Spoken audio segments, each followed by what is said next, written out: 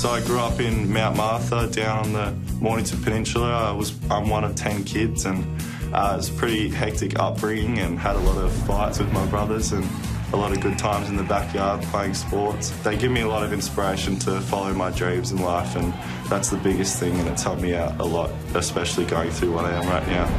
With his second kick and his first direct shot at goal, Tom De Koning comes in and kicks and puts it right through Yeah, Tom's great. Obviously, he got drafted in 2017 to Carlton, which was a lifelong dream for him, but also for me. I'm a Carlton supporter at heart from when I was a kid. Seeing him play AFL footy, it's just been a huge inspiration for me and a huge um, motivator for my career thus far. And he's just shown me what it takes to be an AFL player, and I take a lot from his experiences. Yeah. De Koning's versatility makes him a really appealing prospect for clubs within the top 20 on draft night. He plays his best footy as a key defender, which we saw throughout the middle of the season for Vic Country, where he was an All-Australian player. But he can also go forward and maybe even pinch hit in the ruck, where his 201 centimetre frame is able to really tap the ball out and, and make an influence there. So it looks like being an early selection on draft night. Pretty congested forward line, so a kick in hope. Who's going to fly from the side? And in the end, it was De Koning.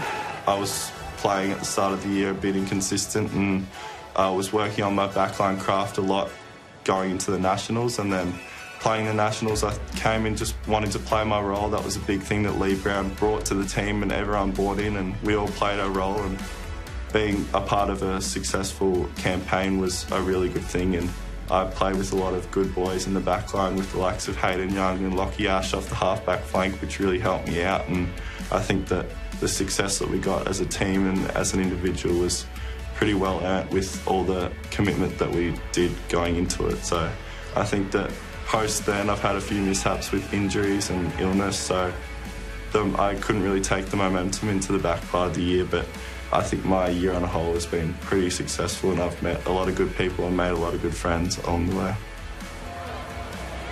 But it's marked and it's done nicely by De Koning, who's looked good in defence. And he goes up the line and a big fly from De Koning in front.